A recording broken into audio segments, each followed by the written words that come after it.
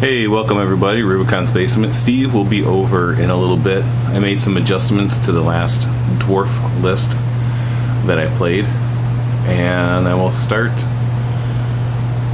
with the top of my list, which is my Dwarf Lord. My Dwarf Lord is a converted model here. He is on shield bearers. Gonna try to keep this real steady, but I put my elbow on the table. There we go. Dwarf Lord on Shield Bearers. He has two times the Rune of Might. He has a Rune of Fortitude times two, and a Rune of Luck. So he's pretty good. Toughness six. I believe he does die three wounds per hit. Uh, double strength versus toughness five. I have five Rangers, which are over here. I have two units of 14 Quarrelers, which are gives you a sneak peek of what's come, what's to come. There's one unit of 14, and there's another unit of 14. So I dropped the whole unit, but increased the size of these a little bit, and they have um, heavy armor and shield, but hand weapon. I didn't, I did not give them the great weapon anymore. Then I have 16 Thunderers. Boy, I hate when people do this and I'm doing it. I'm in a rush. Steve's coming over. Uh, 16 Thunderers. Again, I dropped an extra unit of them just so that I could have one unit of 16. And they also have just heavy armor and short, heavy, heavy armor and shield, and hand weapon. Full command though. Then I have my organ gun. I'll pan out. Man, I should have put these in order. I'm sorry, people. Organ gun, and that will be entrenched. So that's my little barricade thing for the organ gun. And the crew sits in there. He will be accompanied by the master engineer, which is right there. Character model from years gone past, Burlock Gerlinson. I don't know what his model looks like now, but he's happy to be used. He has a rune of parrying, a rune of striking, and a rune of speed. Whoops, I'm off of him. God bless him. There he is. Oh, if you stayed with me, I feel like Reef. If you stayed with me this long, stay with me. So then I have a cannon. There he is. A rune of forging allows me to re-roll that misfire. I have four gyrocopters, two with Vanguard. Now, actually, I bought these for 20 bucks a model a long time ago, hoping that I would be able to use six. So I bought six of these guys, and then I have two of the. I'll do an army on display thing, but I'm pretty happy with the way they came out. Oh, Hobby Kitty. Yep, that's not a black screen. That's my cat's ass. Let's see. We do have 10 miners. And this time we took out the Longbeards and we added 14 hammerers. They do, and I'm sure I'm going to put my Dwarf Lord in there. They do deal out the damage. They have the Rune of Slowness and the Rune of Sanctuary. I have a Thane BSB, and he has a Rune of Slowness. Where's he at? Rune of Slow. I know he's the Rune Lord, but he's holding the scepter real high, so he's going to be my BSB. And then last, I have two bolt throwers. Hobby Kitty's in the way, sorry. Two bolt throwers. One has a rune of penetrating and a rune of accuracy, and the other one just has rune of accuracy. So that's the list. If you stuck with me, I'll do a five minute rundown. Um, some changes from before. I also painted up a whole bunch of Slayer Pirates I think I'm going to use as my Iron Drakes.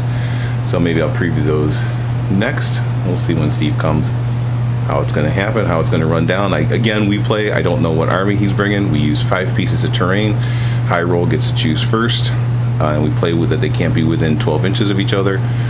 Um, just little house rules because it, it kind of re- resembled the Buckeye battle that I went to because uh, that's how their terrain was roughly set up. So, anyways, all right, guys, thanks for watching, and we'll get back to you as soon as I can. Action.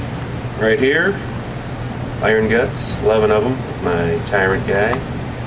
Behind them are some Bulls, 11 of them. Uh, Bruiser, he's a battle standard, but he doesn't get a standard like it. He gets it. Uh, another unit of 11 Bulls with a Butcher, a Gorger, and four Man-Eaters. Oh, and there's another Butcher hiding back here. So you get two level twos, right? Two level twos, and that's about it. Just run up and dash stuff. Steve said this is a combat heavy army and hand to hand combat heavy army, and that's saying a lot because most of his armies already are. So if he's made this one as a combat heavy army, it could be in trouble. What do your man eaters have? They have scout and immune to psychology. Oh, pistols or hand weapon, extra hand weapon? I don't remember actually. We'll have to get back. Fighting with their fingertips. That's all they need. that's all they need. And the unit behind, extra hand weapon? Everybody has like, these two units have uh, iron fists and. Oh, okay. So they get the five up parry. Yeah. And these guys are obviously all Great weapon. great weapon guys. And you have your tyrant, he's a lord. Yes. and you have a hero BSB, and then you have two level twos, both of Maw. Yes. All right. Well, although it took me five minutes to go over my army, Steve's done in five minutes what it, or in one minute and a half what I did in five. So, Just like the ogre army, straight into the point. all right, we'll get back. We'll set up the table and check you guys later. Okay, so Steve's man eaters up here. They scouted first. My rangers scouted behind them. He's got his level two with the bulls there, and his lord with the iron guts there, and his BSB in with the bulls there. Gorger has not come on. He's got a level two sitting behind back there, and over on my side, we decided to put a, those miners aren't in yet. Gyrocopter there. We got the hammerers there. Another gyrocopter. Got the 14 quarrelers. 14 quarrelers. We got the organ gun. We got the bolt thrower. We got another organ gun. Another bolt thrower. 14 thunderers. And over here we have the gyrocopter that can vanguard but can't because I don't want to move him back. And I can't move him forward because I'll be within 12. And this one vanguarded up just out of 12 of there, just out of 12 of there, but leaving him a tasty possible charge into there if he wins first turn. But we'll see. We'll get back after first turn. Yeah, so on Steve won first turn, and the scouting man eaters moved up an inch to there. Everything else came marching up as fast as possible. These guys now they have the movement banner on them, so they moved up a little bit farther.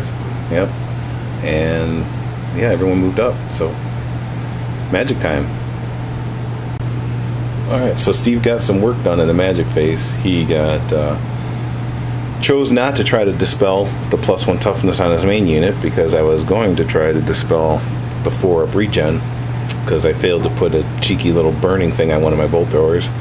But um, yeah, he six diced it, got double six, got the regen. Each wizard took a wound, but they both have regen, so he saved them both. So no shooting in his army, and it's off to uh, Rubicon's turn one. Okay, so in movement, this gyrocopter flew over. He's going to drop a bomb and use the flame template there. Didn't move, didn't move, didn't move. This gyrocopter came up, dropped a little bomb on him in the shooting phase, and we're going to flame template him, redirect those guys. These gyrocopters flew over. They're to just let that tyrant swat him out of the sky, so hold that unit up as long as possible. Um, I did not charge. I needed boxcars to get into there, so I just moved and marched them up 12 inches as fast as they could go and there is no magic, so we're on to shooting. Delicious shooting page. All right, so success over here between the Rangers. Well, I don't think the Rangers did anything, but we dropped the bomb. We did the flame template. We killed two ogres, but they're immune to psychology. Over here, Thunder shot into here. I don't think I did anything, right? Kill. On this one? Yeah. No. And then over here, I uh, did five wounds, but that was between dropping the bomb, flame template, organ gun, two bolt throwers, cannon that didn't hit, and 28 quarrelers. Did five wounds. awesome. And uh, okay, Steve's turn two. All right, man eaters passed their march move and moved up. They marched up, inevitable charge of the gyrocopter, and moved up. And on to magic. Oh, and the Gorger came on. So Steve uh, rolled three for the magic phase and used his power stone to still throw five dice at bubble regen and got 18, not the 20. So we survived that. Movement, magic, shooting, no shooting. So we go straight to hand to hand. All right, so yeah, he uh, evaporated the gyrocopter, and here I am thinking I'm doing something clever, like, hey, he'll only roll a seven maximum, so he won't be able to go 14 in March, but he rolls an 11 on the overrun after killing the gyrocopter. So yeah, check that out. That's delicious. My turn. All right, so we had some crazy stuff happening here. Miners did come up. Shot all these thunderers at his general's unit. Didn't didn't do much. Shot bolt throwers at his unit. Didn't do much. Shot cannon at his unit. He had the Iron Curse icon. Oh no, I rolled a one to wound, so didn't even have to use the Iron Curse icon. Uh, ultimately, what ended up happening was the organ. Or first, we dropped uh, two bombs on him. I rolled a ten and a six for the strength three against his toughness four, and did a fair amount of wounds there. And then ultimately, the Organ gun opened up, rolled 16 for shots, and caused just enough for a panic test. He has a leadership nine twice. You rolled a tw- 11 and a 11 10, 10. 11 and a 10, and they fled. And then we had a moment of panic. And then whoever wrote in that said it was a gentlemanly game did not see me. acted like a fool when I'm like, yes, his general's unit broke and ran. Oh god! But then I thought, wait a minute, they have to flee from the nearest enemy unit, which is this gyrocopter. So then we thought, well, that's not good because he's going to be back here and then he's going to rally. But then we looked it up and saw that it's uh, brought about by heavy casualties. It's uh, the unit that caused the most casualties that phase. So we did it right, and they rolled a five to survive their uh, their panic test for being fled through. So we're on to Steve's turn three. I failed the charge here, didn't it? Yeah, I don't know if I recorded that or not. But all right, Steve's turn three. Oh, and then we shot all these quarrelers at that unit and killed, did five wounds Yeah. total. Yeah. All right. I brought this. I can't remember what I recorded, but I moved the engineer back to receive this charge from the Gorger. So we'll see what happens with that. And on to Steve's turn three. All right, Steve charged the gyrocopter, and I, I put the gyrocopter in such a way that he was in my front arc, so he had to swing around because it's gamey. And then these guys charged the flank, passed my uh, fear test. Gorger, I moved my engineer back a little bit, so he passed his terror test. So he's fighting the engineer now. And these guys attempted to charge, failed it all on their own, but I did have the die six subtraction banner with the uh, BSB over here. So we're there. Magic, magic. Oh man. All right, so in magic, Steve cast the big maw, placed it right there, drifted off onto the cannon. But at strengths, we automatically fail my initiative test because it's a war machine and um, strength seven versus toughness seven, and he didn't wound it, so lucked out there. And that's it for magic. Uh, no shooting, so we're right into hand to hand, of which we have two. All right, so these guys came crashing in, did some impact hits, did some kills, did some stomps, and wound up killing six of my guys here, and passed my panic test. Then these frickin' guys, I threw the gyrocopter up there, and I'm like, okay, don't roll high again, and he rolls 11 for the overrun again, and gets into the ogre gun anyways.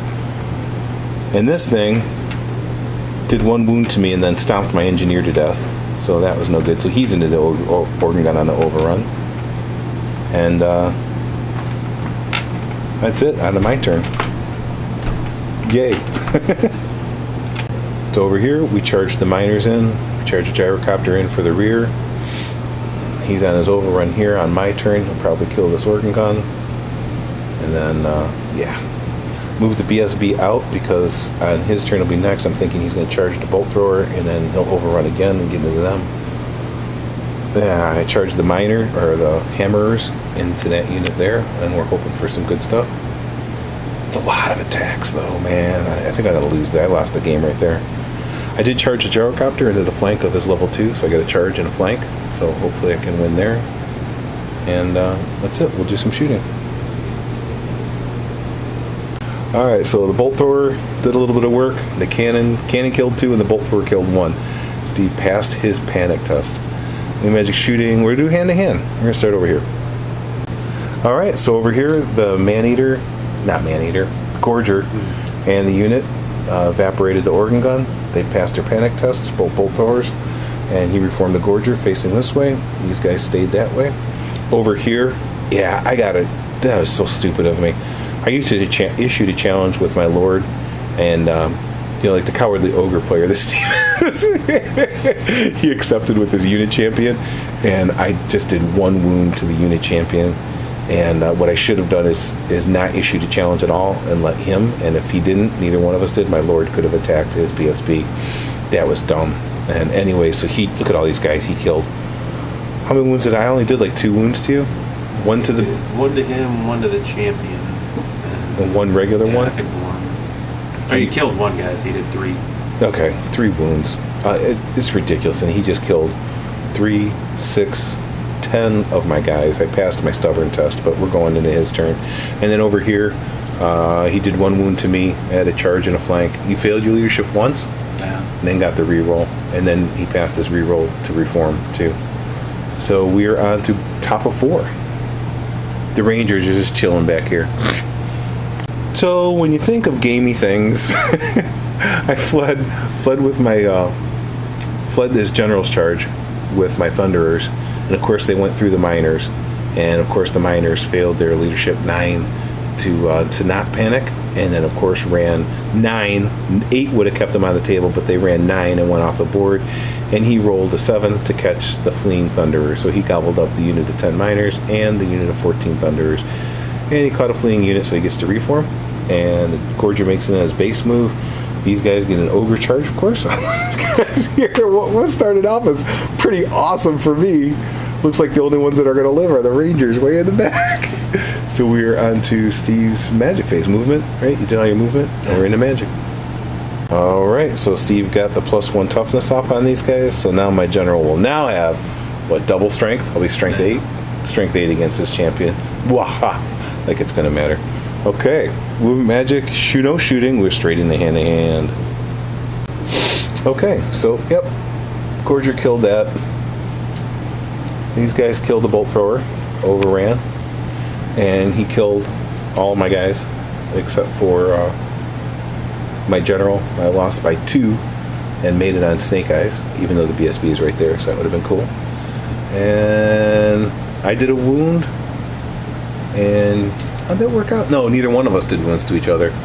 So Yeah, that's- yeah, in the gyrocopter battle. So we just kind of grind there, and uh, I think that's it. All right, bottom of four. All right, so we moved the gyrocopter over here. Ranger stayed where they were, back in the corner. I made a charge with the Thane BSB, no magic weapons, into this flank here, and these guys charged in, and the general's on his own, and we're fighting that out.